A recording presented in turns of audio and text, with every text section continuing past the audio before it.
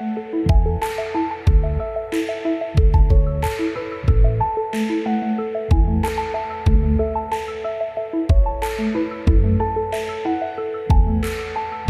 been working for the Sunday Times for 20 years hard to believe it's been that long. But I've seen so many changes in the newsroom um, and in newspapers during that time.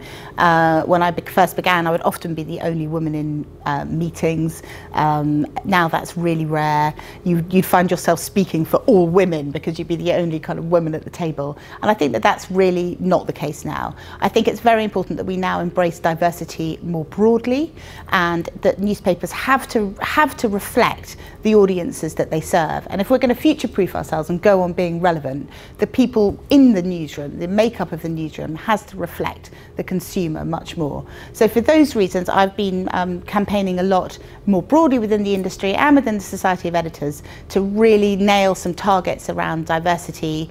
The news is no good if it's, or the, the paper's no good if it's put together by a whole load of a cadre of old white posh blokes. We have to embrace diversity more broadly, whether that's more working class voices, more people from the north, not being so London centric, looking at how many people are privately schooled, ed, uh, privately schooled educated, and also really making sure that we have enough women and enough people from um, BAME backgrounds within the newsroom.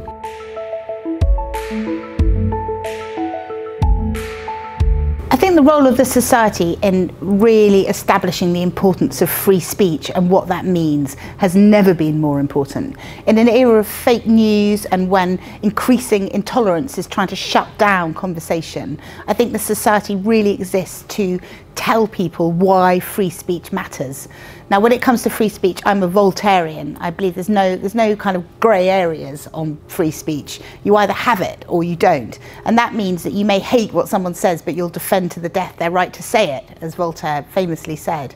And I think that that's really important now. There are so many areas in the media where speech is beginning to be tried, people try to shut it down, whether it's conversations around Islam or around trans people. It's really increasingly difficult in some places to actually even have those conversations. So I think one of the things that the Society of Editors does is to say it matters that we have these conversations, it matters that the facts are correct, argument matters based on facts, and in an, in an era where fake news and also increasingly opinion but is becoming more and more polarized information that you can trust is incredibly important and that's what real newspapers do that's what the old brands that's what the society of editors is all about is protecting that whole trade of news gathering and explaining why filleting and really working out the truth really matters.